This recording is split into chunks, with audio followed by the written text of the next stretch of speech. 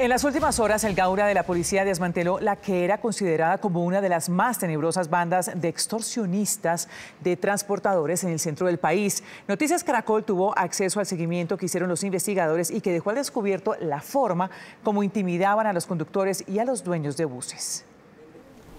Pagar el rodaje. Estoy hablando de rodaje no de vacuna, como están diciendo por ahí, ¿me entiende? El supuesto pago de rodaje que exige alias el negro, jefe de la organización, a los conductores, según el Gaula, es para permitirles salir a trabajar en sus vehículos de servicio público. Estoy para protegerlos.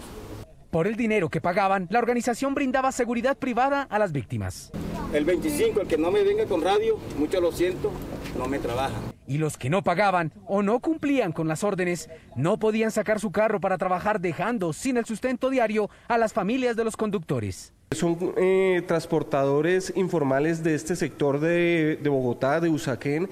Ellos eh, normalmente cubren unas rutas en donde no hay transporte público, pero eh, son ciudadanos del común que buscan la forma de subsistir.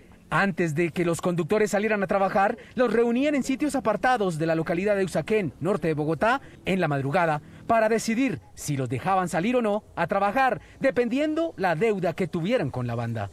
Les cobran 6 mil pesos diarios por cada uno de las actividades que desarrollaban en el momento de transporte eh, informal que ellos desarrollan y si no cumplían con esto, pues eran sancionados con uno o varios días en no poder eh, ejercer esta labor. Una de las víctimas que denunció aceptó, acompañado con los investigadores, ponerse una cámara y grabar esas reuniones y la manera como los delincuentes realizaban los cobros en puntos estratégicos en las vías del norte de la capital.